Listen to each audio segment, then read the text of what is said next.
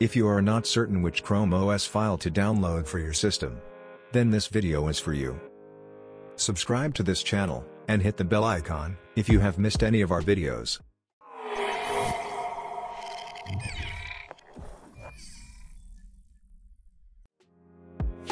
One question that most of our subscribers, who tried our Chrome OS installation video, asked us was which Chrome OS file to download for my specification. Let's solve this issue for you guys. Let's start by copying your system specification.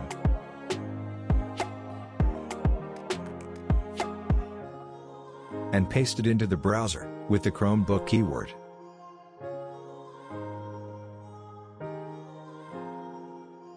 Now you will get a list of systems from here you check which CPU matches to your specification. HP Chromebook X360, 10th Gen Intel Core i3, here you can see this CPU matches our specification.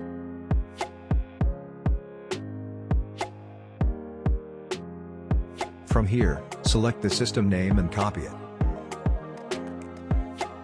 Now search for Cros Tech website, from browser, and open the cros.tech.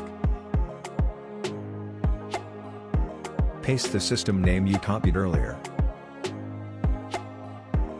Now you will get a list of systems, what you can do is get back to the earlier URL, and search for the system model number.